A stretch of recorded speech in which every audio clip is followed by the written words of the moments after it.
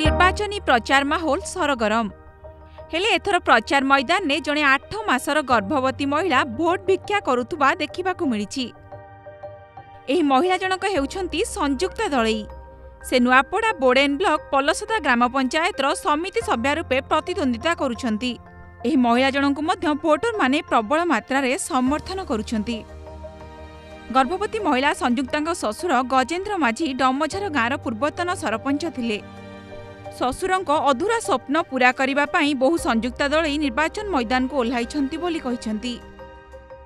ଶ୍ୱଶୁର ବି ଥିଲେ ପଞ୍ଚାୟତରେ ସେମାନେ ବି ବହୁତ କିଛି କରି- କରିକି ଯାଇଛନ୍ତି। ତାଙ୍କ ସ୍ୱପ୍ନ ଥିଲା କି ଆହୁରି କିଛି କରିବାର ଥିଲା କିନ୍ତୁ ତା- ତାହା ତ ହେଇପାରିଲାନି। ମୁଁ ତା କରିବା ପାଇଁ ଚାହୁଁଛି ଡେଭଲପ୍ କରିବା ପାଇଁ ଚାହୁଁଛି ତାଙ୍କ ଯେଉଁ କାମ ଗୁଡ଼ା ଛାଡ଼ି ଯାଇଛନ୍ତି ମୁଁ ସେଗୁଡ଼ାକୁ ଆକୁ ନେବା ପାଇଁ ଚାହୁ- ଚାହୁଁଛି। ଜଣେ ଉଚ୍ଚଶିକ୍ଷିତା ଅଟନ୍ତି ସଂଯୁକ୍ତା ସେ ବିଏସ୍ସି ପାଠ ପଢ଼ିଛନ୍ତି। ହେଲେ ଜନସେବା କରିବା ଆଶାରେ ପ୍ରଚାର ମଇଦାନରେ ଗର୍ଭବତୀ ସଂଯୁକ୍ତା।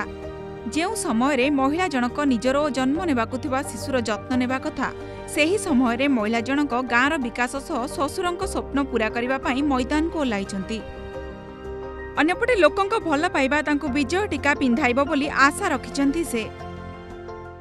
ସଙ୍ଗୀତା ମ୍ୟାଡ଼ାମ୍କୁ ଦେମୁ ବୋଲି ସବୁ ଲୋକ ଆଶ କରୁଛ ତାର ସେମାନକେ ଗାଁର ଲୋକ ହିକର ଉଠେଇସୁଁ ସେମାନେ ଆମେ ତ ଲାଗି ସଙ୍ଗ ଦଉସୁଁ ବୁଲୁସୁଁ ଗାଁ ଗାଁ ପଡ଼ା ପଡ଼ା କି ବଡ଼ ଖରା ନେ ତ ସେମାନକେ ଯେ ଯୁକ୍ତ କରମ ତାଙ୍କର କିଛି ଅସୁବିଧା ନେଇ ସେମାନେ ବେଆସି କଲା ଲୋକେ ସେ ଚାହିଁଥିଲେ ଚାକିରି ଗୋଟେ ବି କରବି ବୋଲିଥିଲେ ସେମାନେ ମୁଁ ପବ୍ଲିକ ସେବା କରବି ବୋଲିକରି ସେମାନେ ଉଠିସ ଯେ ପବ୍ଲିକ ସବୁ ତା ସେମାନକେ ଚାହୁଁସୁଁ ତ୍ରିସ୍ତରୀୟ ପଞ୍ଚାୟତ ନିର୍ବାଚନରେ ଶେଷ ପର୍ଯ୍ୟାୟରେ ହେବ ବୋଡେନ୍ ବ୍ଲକ ଭୋଟ। ହେଲେ ଏଥର ମତଦାନ ଆଠ ମାସର ଗର୍ଭବତୀ ସଂଯୁକ୍ତାଙ୍କ ସପକ୍ଷରେ ଯିବ କି ନାହିଁ ତା ଫଳାଫଳ ହିଁ କହିବ। ନୂଆପଡ଼ାରୁ ଦେବାନନ୍ଦ ତାଣ୍ଡିଙ୍କ ରିପୋର୍ଟ ଓଡ଼ିଶା ସମ୍ବାଦ।